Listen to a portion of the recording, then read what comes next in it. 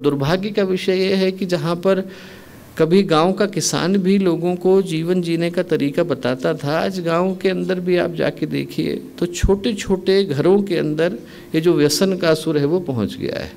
और ये जो दुर्भाग्य है, इसकी पीड़ा को और इसके प्रभाव को, गुरुदेव ने वर्षों पहले अनुभव किया। आप सोच के देखिए कि 1956 का जब सहस्त्र कुंडी यज्ञ हुआ, अंठावन का यज्ञ हुआ, चाहे वो नरमेद यज्ञ रहा हो, चाहे मथुरा का सहस्त्र कुंडी यज्ञ रहा हो, जो पहली शर्त गुरुदेव ने रखी वो यही रखी कि यदि व्यक्ति को यज्ञशाला के अंदर प्रवेश करना है तो पहले व्यसन से मुक्त होकर के प्रवेश करना होगा। गुरुदेव ने कहा कि आपको दक्षिणा देनी है तो पैसे मत दीजिए। आपको दक्षिणा में यदि कुछ छोड़ना है तो अपनी बुराई को छोड़ना है। एक ही नाम दिया गुरुदेव ने, देव दक्षिणा, कि आपके जो भी कर्म हैं, उनके साक्षी सीधे सीधे भगवान बन रहे हैं। आपको अपनी बुराई छोड़नी है, अच्छाई को लेके जाना है। हम लोगों का छोटा सा गाँव है बड़वानी।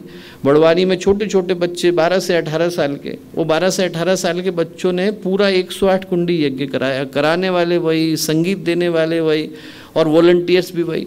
और जब यज्ञ हो गया तो यज्ञ के बाद जितने बच्चे थे, वो सब अपने गाँवों के अंदर निकल गए और अपने अपने माता पिता के आगे कुर्ता लेके खड़े हो गए। लोगों ने कहा कि गायत्री परिवार तो कभी दान माँगता नहीं, ये लोग क्या मांग रहे हैं? तो बच्चों ने कहा कि हमें पैसे नहीं चाहिए, आपकी बीड़ी दे दीजिए, आपका जो शराब का है वो दे दीजिए, आपका गुटखा दे दीजिए।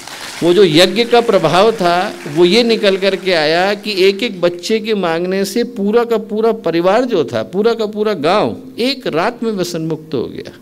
तो जो प्रभाव है, वो अद्भुत है।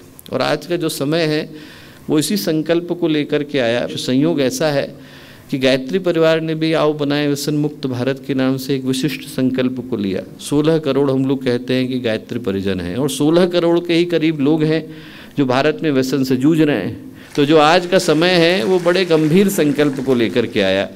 और सही पूछें तो उनके संकल्प की प्रतिध्वनि ही उनको यहाँ से सुनाई पड़ेगी कि हर व्यक्ति उसी भाव को लेकर, एक ही उद्देश्य को लेकर इस समाज के नव निर्माण के लिए निरंतर आगे बढ़ रहा है, जुटा हुआ है। हमारे YouTube channel Shanti Kunj video Gayatri Parivar को सब्सक्राइब करें एवं बेल आइकन ज़रूर दबाएँ ताकि गायत्री परिवार की विभिन्न गतिविधियों की जानकारी आपको मिलती रहे।